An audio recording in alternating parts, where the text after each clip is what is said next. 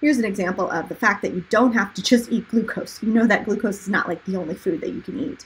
Um, so the way that other foods get into the system is that they'll either get converted uh, into glucose um, or they'll get converted into molecules that feed into different parts of the pathway. And all of it in the end, this is like basically you're extracting electrons from fats uh, at the acetyl-CoA processing in the citric acid cycle. You're extracting electrons from the proteins um, at a, a, later step in glycolysis, acetyl-CoA, and citric acid cycle. So it doesn't go through the whole thing, but the electrons are extracted. And I should say fats have a lot of carbon-hydrogen bonds, as you know. Each of those bonds, huge long tail, has electrons. So every carbon you break off, every hydrogen you break off, is going to release electrons, which is why fats have so much uh, energy in them. Also why it's harder to get rid of adipose tissue, fat tissue.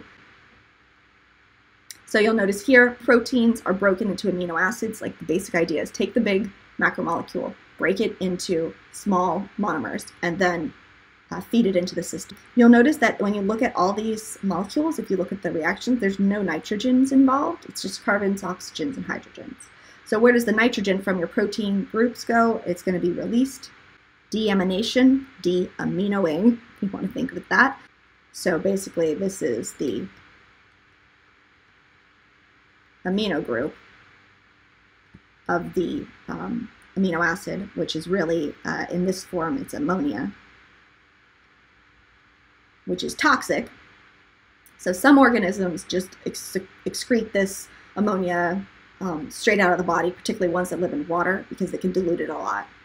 Uh, in humans, this ammonia is converted to urea, and that's part of urine, uh, peed out the body. That's where your proteins go. The carbon part of the proteins can be used for energy. What does that mean? This business. So any food you're using for energy, this is what they're talking about. Where do all the carbons go? Carbons go out as CO2 here, carbons go out as CO2 there. So where do all the foods end up that you're using for energy, basically meaning making ATP? They end up as CO2. And breathe them out. So that, you know, whatever you ate this morning, if it's being broken down for energy, you're breathing it out right now. That's the carbon compound to CO2, that conversion in the cycle. The other way, the other thing that things you eat, what else might it be used for? To build stuff. So let's look at that here. Um, so there's a balance between building and breaking down, right? Uh, building, anabolic, uh, breaking down, catabolic. So the molecules can be converted depending on what's needed. So for example, like um, you make ATP to do work, but then some of the work to be done is to make more molecules.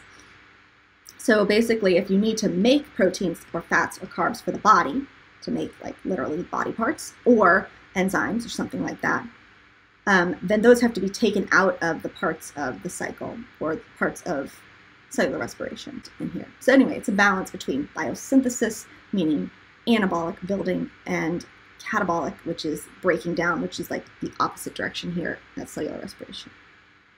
Also note that this is not just like a free-for-all. there are mechanisms in place. You can see that a very you know, classic kind of mechanism for regulation is called feedback inhibition.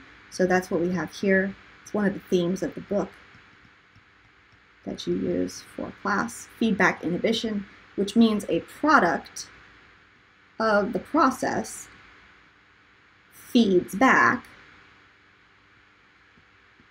to slow down the same process. So the idea is like, if you have enough, stop making more. because that's very, you know, that it's more efficient. So the way this works is that if there's a lot of citrate being made, that first step of the citric acid cycle, presumably that means that there's a lot of citric acid cycle happening. So citrate can actually feed back, and this is an enzyme, ACE, so it actually binds to phosphofructokinase, the enzyme. I don't need you to know that name. But the, it, it feeds back and slows it down. So it, if it stops this step, then you get less of the rest of them. You get less glycolysis, you get less citric acid, you get less like uh, oxidative phosphorylation, and so then you get less ATP which if you have enough is good. You don't want to waste all the molecules and the uh, enzymes and the energy for all these processes. Uh, if you have enough ATP, that can feed back and slow down phosphofructokinase. Then you have stimulating molecules like AMP. So this is ATP but mono version. So one phosphate group instead of three. So if you have a lot of this AMP, you probably don't have a lot of ATP It's the idea at least. And so the AMP can stimulate this enzyme working more, so then you make more ATP.